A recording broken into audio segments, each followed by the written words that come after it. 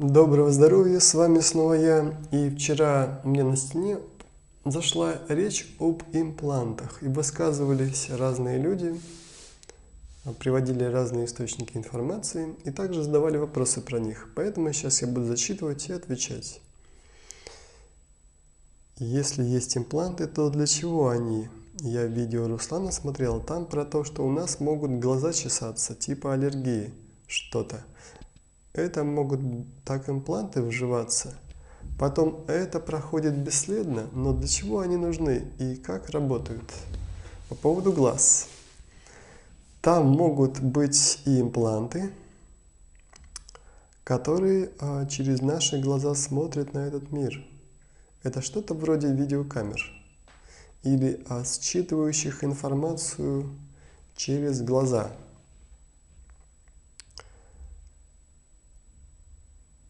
Для чего, а для чего мы ставим видеокамеры? А, все больше где? Например, веб-камеры. Камеры, следящие за тем, что происходит на площадях, в местах, где большие скопления людей, на дорогах, встраиваются камеры в автомобили. Сейчас это уже даже естественно. А чтобы просматривать, пересматривать, что случилось там. А, встроенные камеры, в глаза в том числе, имеют те же функции, что и наши камеры, но не только. У них, а, потому что те, кто их вставляют, имеют а, сознание более развитое, чем у нас. И поэтому их камеры тоже соответствуют, соответствуют им и имеют те функции, которые мы даже еще не в состоянии понять. Хотя есть и что-то похожее с нашими. Нилнара, расскажи, пожалуйста, об имплантах. Для чего они нужны людям? Как они проявляют себя в действии в обычной жизни человека? Влияет ли питание человека на работу имплантов? Вот, кстати, питание э, в основном не влияет, хотя... Хотя, смотря каких, а, на большинство не влияет. Но сейчас тогда и затронем это. Для чего они нужны людям? Как проявляют себя в действии?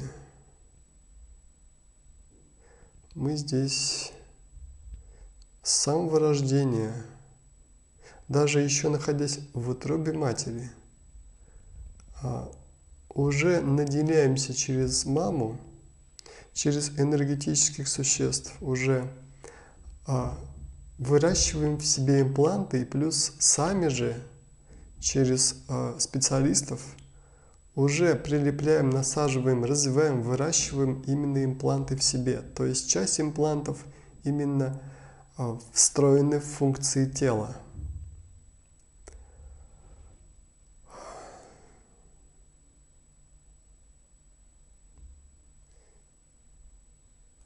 Это такой вопрос обширный, что даже здесь, может быть, лучше книгу писать, чтобы обстоятельно рассказывать обо всем этом. Так. Ладно, сначала прочитаю.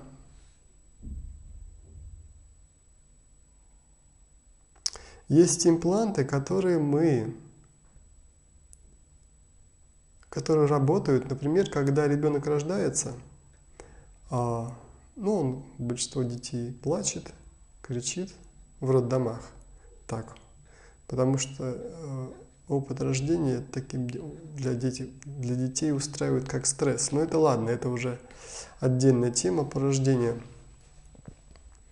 Мы, э, мы в скором времени сразу начинаем питаться молоком матери. И наша пища. И как раз наша пищеварительная система тут же вырабатывает импланты. Это как раз те а, пункты в нашем пищеварительном тракте, которые, через которые начинает поступать энергия. То есть мы до этого питались через пупок, э, находясь внутри мамы. Это тоже своего рода имплант или посредник преобразования некоторых видов энергии, а, которые участвуют в привнесении некоторых элементов, которые, из которых, на основе которых в том числе, не только на них, но растет тело. Потом идет переключение на питание через систему рот, пищеводы, то есть киш, кишки толстые, тонкие, а, там уже выращенные частичные импланты начинают работать. То есть это промежуточные такие соединительные системы, где а, переходящие, знаете, импланты. И а, вот эта энергия, пища, например, молоко мамы, начинает расходиться. То есть оно проникает в желудок, а, в кишечник,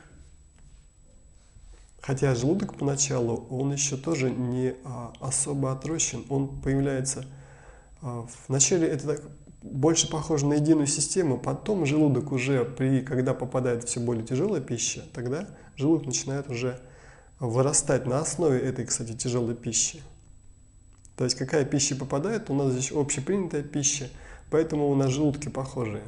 Но в других э, мирах, цивилизациях, у других существ желудки могут отличаться – именно из-за той пищи, которая в них попадает. Но это опять уже отдельный вопрос. Да, сам желудок можно назвать имплантом или преобразователем энергии. Посредством имплантов в нас поступает и отходит энергия, то есть это обменники, это обменные пункты. Так же, как и чакры можно назвать имплантами. И вообще все распределительные системы, преобразовательные системы – это своего рода тоже импланты, которые мы выращиваем в себе можем даже удалять. То есть удаляя какую-то часть тела, мы удаляем и соответствующий имплантик. То есть это нами же привнесенное через других существ. Родинки – это наши имплантики. А, потому что импланты – это понятие такое очень широкое. Оно, его можно расширить на и вот смотрите, когда мы пьем молоко мамы, у нас, то есть молочный имплант вырабатывается, и он вырабатывает у нас какую-то энергию, какие-то элементы. Потом, когда мы, нам мама или папа дает какую-то новую пищу, ну, в основном мама, пробует давать что-то более, кроме молока, то мы тут же получаем иную виду, иной вид – материи, из которого пробуем добыть энергию и тут же вырабатываем себе новые импланты. Потому что мы тем самым присоединяем к себе каких-то существ, которые прилепляются к какому-то части нашего тела. Например, смотря что после молока дает мама ребенку. Ну, допустим, это кашка, что в основном мамы делают – кашка, сваренная самой мамой или купленная в магазине в виде консервы. И тут же прилепляется, например, э, купленная в магазинке кашка. А тут же у каждого продукта, будь то сваренного нами или купленного, есть своя сущность. То есть энергия, из которой, которой то есть внутри э, любого физического предмета, вещества, материи есть а, подоплека или та энергия, из которой она рождается и порождается или преобразуется. То есть а каждый предмет, каждый физический предмет имеет не одно тело, а имеет более тонкие тела в других измерениях. То есть имеет основу энергетическую. И некоторые ее называют сущностями. То есть сущности это как бы предметы, которые которых мы не, не приравним к равным себе, которые, которые нам кажутся менее сознательными или вообще бессознательными, не имеющим каких-либо сознания, хотя сознание в какой-то степени имеет все и все.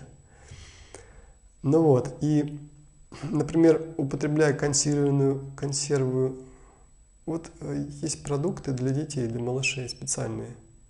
Мама покупает какую-то баночку консервную, где там какое-то где написано, что это идеально для ребенка от строки до строки лет э, применять, когда вы переходите или давать, когда вы приучаете ребенка уже не к молоку. И эта сущность вместе с этим продуктом, соответствующим этот продукт, он входит в ребенка и автоматически а, просто прилепляется к, а, например, к, к пищеводу ребеночка, ну, и имеет там свою зацепочку. Вот как раз эта сущность и ставит свой имплант, потому что ребенок впервые употребил ее. И если ребенку это понравилось, он начинает хотеть снова это и пытается как-то это просить или давать маме понять это телепатически, а, капризничать. То есть он пытается донести. Можно, или если молоко ему уже надоело, хочется для разнообразия что-то, он пытается дать понять. И как раз он знаком, кроме молока, с еще одним продуктом, и его в основном просят, пока не познакомиться еще одним, потом с еще одним, и он его вкусы могут а, увеличиваться, и он может просить уже разных, пытаться просить, а, повторить, потому что эта сущность участвует во взаим, энергетическом взаимообмене с ребенком через имплант, подсаженный к пищеводу ребенка или к пищеварительной системе. Ну, сам, получается, сама мама присадила ребенка, сам, сам ребенок, если не выплевывает, сам решает это в себе – а, это впитать себя и пользоваться. То есть сущность а, происходит обмен. Вот вам еще одни виды имплантов, и это касается любой пищи, любого питания. Взрослые или даже мы уже в юности начинаем осознанно предпочитать какие-то вкусы и, соответственно, притягивать тех сущностей, которые в нас ставит имплантик, свой имплантик, посредством которого и идет, она прилепляется и идет обмен. Их можно назвать как пиявочки, да? они прилепляются, хотя пиявки вроде бы пьют из нас кровь, но на самом деле они пьют венозную кровь. Кстати, и лечение пиявками было в том числе когда-то и до сих пор применяется.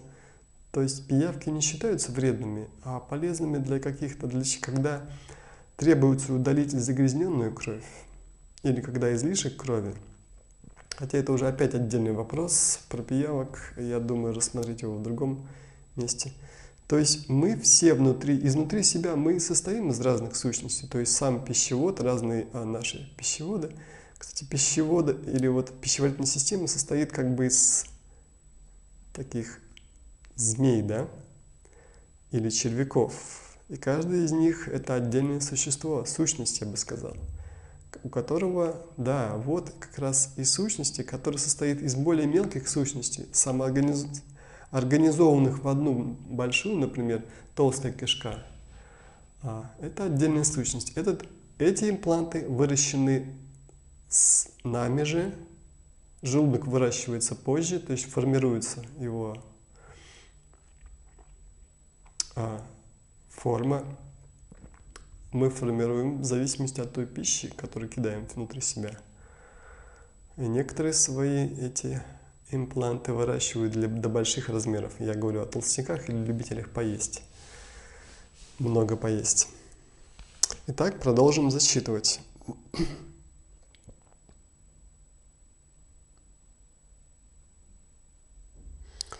Понимаете, почему э, импланты все невозможно удалить? Потому что желудок тот имплант, который вы вырастили сами. Потому что если бы вы не питались определенной пищей, желудка бы не было вообще, вовсе. То есть, если есть а, даже люди, которые, у которых, например, если питаться одними фруктами и ягодами и больше ничем, то желудок и не, не растет, потому что эти а, компоненты Э, не расщепляются в желудке. Им для этого не нужен желудок. Они сразу проникают в пищевод и там расщепляются. Но это уже опять отдельный вопрос, наверное, для других видео. Э, что происходит у тех, кому удается удалить имплант? Смотри, какой имплант. Наверное, потом а, это разберем. Э, приведи пример, пожалуйста, одной из комбинаций имплантов. Смотри, смотрите, здесь, наверное, в следующих комментариях будут другие примеры, может быть, которые обсудим. Руслан, расскажи об эфирных имплантах, которые ускоряют духовное развитие человека. Вот еще есть эфирные.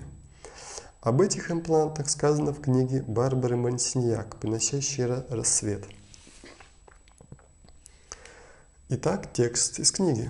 В вас имплантирована определенная структура, геометрическая форма, которая является стартером для определенной информации, хранящейся внутри вас.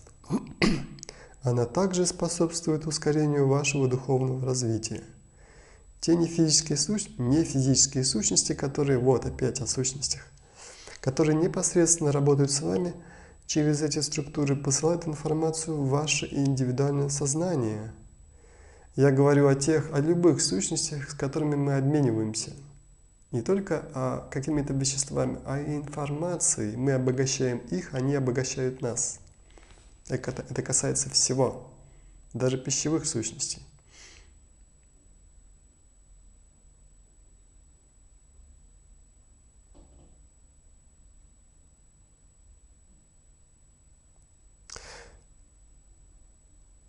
Те нефизические сущности, которые непосредственно работают с вами через эти структуры, посылают информацию в ваше индивидуальное сознание. У большинства из, из вас имеются эти импланты – и если у вас нет их, вы, вы можете высказать намерение их получить. Никому не внедряют импланты против его воли. Вот это точно. Это абсолютно истина. Это структура языка света приспособление для получения информации и энергии, ускоряющий ваше развитие. Если э, вот вы начинаете читать книгу, новую книгу, вы, конечно, энергетически впитываете в себя Вместе с информацией, импланты этой книги, если она вам интересна и пригождается, то эти импланты, то есть у каждой книги, у каждой информации есть свои сущности. И как раз они, и если эта книга относится к какому-то большому духовному течению или какому-то направлению, у него получается любое отдельное направление, тем более религиозное, имеет свой эгрегор.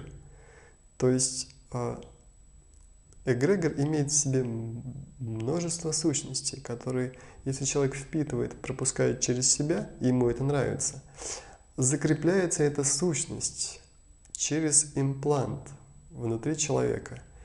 И если человеку она нравится, то есть он сохраняет ее в себе для обмена с ней, она ему пригождается. Например, а, мне Библия пригождалась раньше, до сих пор, кстати, когда какие-то ситуации в жизни происходили, я не, знаю, не знал, как поступить. Я вспоминал, как поступил Христос, например, в этой ситуации, и применял это в своей жизни. Это значит, что да, я подсоединен был до сих пор, кстати, христианскому эгрегору, сущностью, который пользовался через а, имплант. То есть это имплант христианского эгрегора.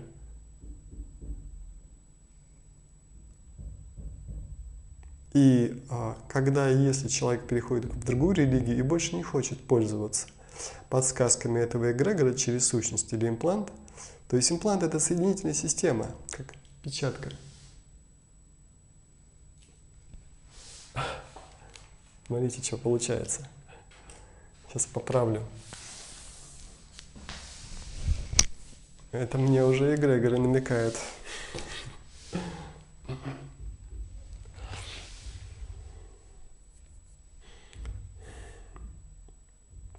И а когда вы уже не хотите пользоваться подсказкой какого-то эгрегора или сущности, или хотите удалить и эгрегор, и сущность, и имплант, вы, например, если это христианский, то вы от, раскрещиваетесь от него. От любой религии, от, от любого сознания коллектива эгрегора тоже можно раскреститься похожим способом. Я это делаю у себя на консультациях. Здесь от 20 минут примерно уходит при работе с человеком. Но при этом эгрегор иногда предлагает остаться у него, предлагая что-то взамен, в обмен. То есть эгрегор иногда может заглядывать, видит частично сознание человека, видит, в чем человек нуждается, и предлагать ему это. В обмен на то, что он останется у него. Или они останутся сотрудничать друг с другом. Но большинство раскрещивающихся отказываются от этого. Потому что, но это уже отдельный вопрос – То есть я не считаю никаких эгрегоров злом, тьмой. Я считаю, что каждый человек в свое время присоединяется к своим, а, входит в свои, а, в определенные эгрегоры для обучения чему-то, тем самым привнося в себя каких-то сущностей, которые присоединяются через импланты и через которые происходит обмен, пока он всему не выучивается у этого эгрегора и больше не нуждается в нем, и тогда если подсказка этого эгрегора ему мешает, или этих сущностей, тогда он от них избавляется посредством раскрещивания или снятия имплантов. Хотя снятие имплантов это слишком упрощенное понятие и не всегда оно происходит, а как люди об этом мечтают. Здесь, а, если снимать импланты, раскрещиваться, то есть от сущности этой эгрегора, то это надо договариваться, это надо конкретно приглашать и эгрегор, своих высших я, как посредников, как а, активных участников, и разговаривать с ними непосредственно, и слышать, и слушать, и объяснять. То есть вот это настоящее раскрещивание и снятие имплантов. Все, за всех других я не могу сказать, это их личная ответственность, я могу за, за то, как я это делаю. Вместе со всеми присутствующими очень уважаю всех, даже тот эгрегор, который, например, человек уже ненавидит. Но я как раз учу человека уважительно относиться ко всем и внимательно э, следить или наблюдать за собой, почему он сейчас это делает. Но это уже я рассказываю секреты раскрещивания, это уже отдельный опять вопрос я подхожу к этому ответственно. Чтобы человек потом не жалел о том, что сделал. И также никто из участников не жалел.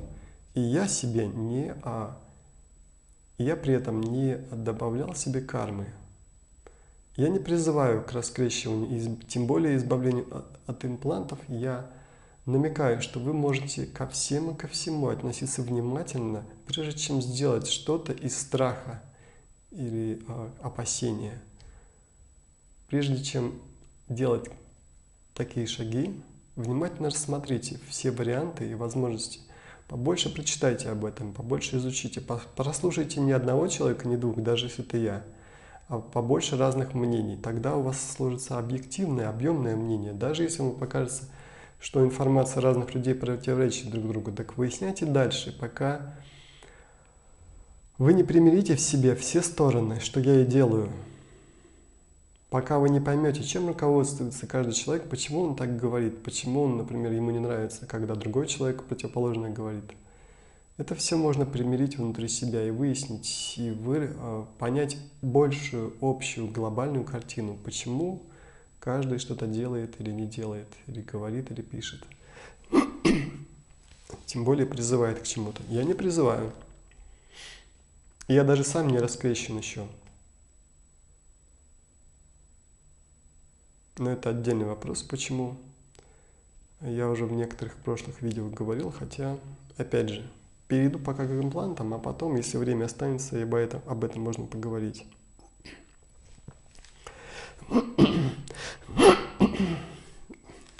Руслан, расскажи еще об астральных имплантах. И прокомментирую следующий отрывок из книг Сэла, из книги Сэла Рэйчела называемая интеграция души. Итак, текст из книги. Иногда имеются кристаллические энергетические поля, называемые имплантами. Человеческие души носят их с собой. Часто они возникают в прошлых жизнях на астральных планах или могут иметь физический компонент – но позже внедряются в астральное тело.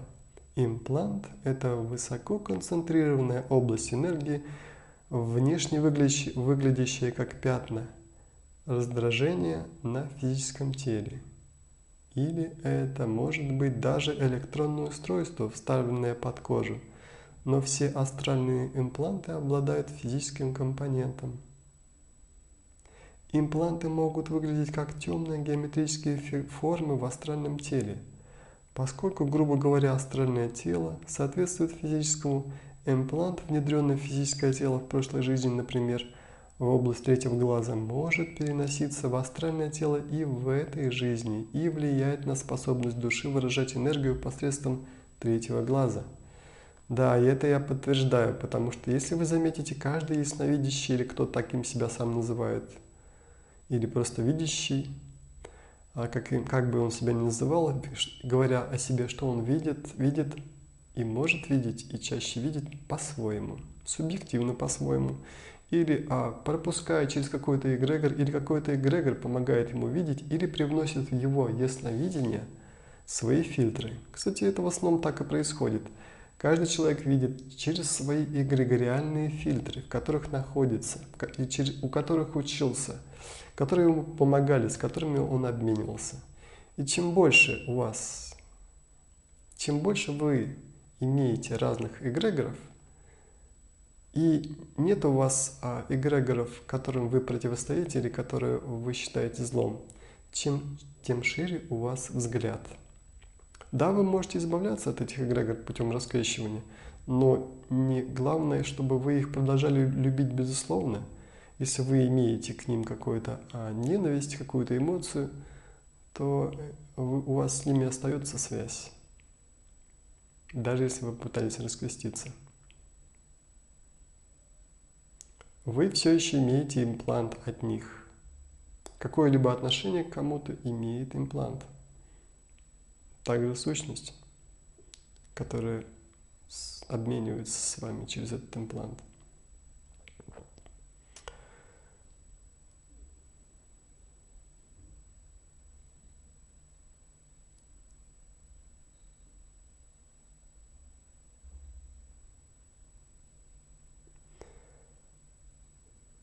Астральные импланты убираются сравнительно легко.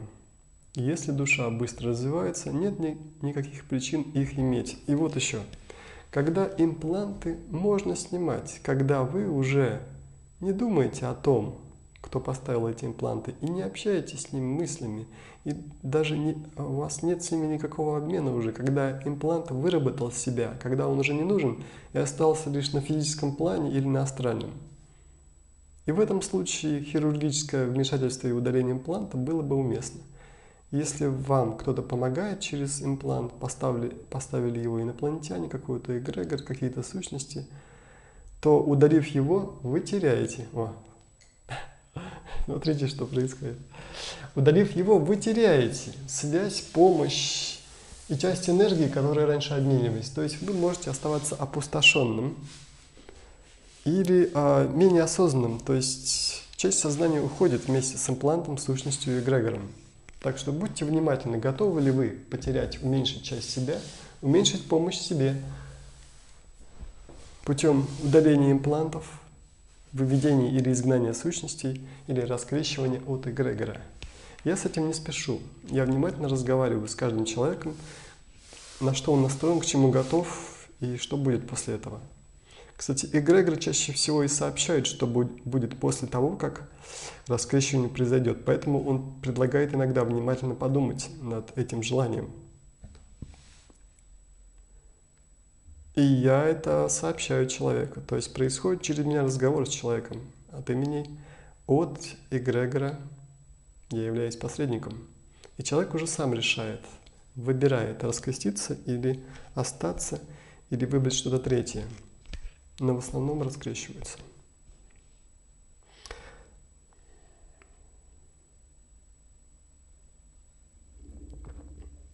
Часто они занесены светом или темными сущностями раньше. То есть, видите, ну, хотя у Сэл Рэйчела все-таки есть некоторые деления на свет и темные, а, у него еще свои уроки. Видите, даже с его точки зрения часть имплантов – привносится с его точки зрения светлыми сущностями и существами точнее. Хотя я таковыми их уже не называю, потому что я вижу назначение каждого существа и вижу общую и вижу пользу, приносящую общее дело или общему благу любых существ и сущностей. Поэтому у меня нет деления на темное и светлое уже давно. Часто они занесены светом или темными сущностями раньше, чтобы защитить душу от вреда или управлять ее деятельностью. То есть, видите, некоторые импланты защищают, я бы не сказал душу, но защищают некоторые тела человека. До души там душа очень высоко находится. Но имеют защитную функцию некоторые импланты, это точно, я подтверждаю. Или управлять ее деятельностью по, видите, управляют по дружественным или враждебным причинам. По поводу деления на дружественные и враждебные, я тоже думаю, это временный урок Сэл Рэйчела, он еще с ними пройдет. В какой-то из жизни он тоже перестанет делить на черное белое, на темное светлое на дружественность и враждебность, потому что враждебность, если рассмотреть ее причины, она перестает быть таковой. И, его, и даже любую враждебность можно развернуть. И она не так, развернуть так, и даже она имеет, а, хотя это опять отдельный вопрос, наверное, в другом видео. Иногда импланты программируются в астральное тело, чтобы установить связь между душой и теми, кто желает контролировать ее со астральных планов. Если имплант убирается, он почти никогда не возвращается, если у вас нет кармического взаимоотношения с душой или душами, вставивших его. Вот очень э, важное замечание. Если имплант убирается, он почти никогда не возвращается, если у вас, если у вас нет кармического взаимоотношения с душой или душами, вставившими его.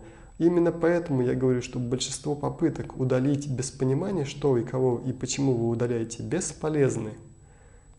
Потому что если вы не изменили причину или не удовлетворили того, с кем вы обмениваетесь, кто устанавливал эти, этот план, то попытки удаления – либо а, возвращают этот имплант на место, на место, либо не удаляют его вовсе, либо а, те, кто их устанавливали, видя, что человек хочет или прям удаляет, или с помощью какого-то видящего экстрасенса или удаляльщика, специалиста в этом, удаляет, пытаются удалить, удалить их имплант, то они просто приглушают его создают видимость удаления, то есть они отключают его, и поэтому как ясновидящий, так и сам человек видит, о, но ясновидящий подтверждает, все, удален, имплант пропал. Ух ты, видите, что происходит? Импланты, поправлю, Некоторые, а, вообще большинство, особенно разумных сущностей, а, подыгрывают человеку, тем более ясновидящему, чтобы им казалось, что имплант удален. А если они видят, что человеку пригодится их импланты, и они вовсе не во вред, если человек не понимает, тем более ясновидящий, не понимает их функции, а просто удаляет на всякий случай или из страха, все подряд, то э, такие импланты, когда Высокоразумные сущности видят, что имплант удаленный. А люди, человек не знает, что делает, или оба человека не знают, что делают. Они понимают, что просто у этих людей детское сознание, и поэтому они просто помогают, подыгрывают им, но оставляют имплант, импланты на местах – приглушая их до того момента, пока человек не дозреет до того, чтобы понять, как они работают и не начать их применять. Тогда они снова включаются и зарабатываются, как будто... А, и человек даже удивляется, о, мне... Когда человек понимает их назначение и пользу, тогда он их активирует. Поэтому большинство имплантов не бывает удалены, когда их пытаются удалить искусственно. Без осознавания. Поэтому я просто так не удаляю. Мы выясняем назначение. Вот это я делаю. И удаляю, когда человек уже точно знает, что ему это не нужно. И знает так. Я говорил сейчас больше об инопланетных имплантах, имплантах но а, Действительно, есть инопланетные импланты, которые отжили свое и уже не нуждаются а, в человеке, как и человек в них. И такие импланты могут быть им, а, выведены хирургическим путем. Я говорю о физических. И Высшее Я позволяет их вывести, потому что они уже не работают. То есть физическую операцию проделать и их извлечь. Сейчас видео отключится, поэтому будет вторая часть.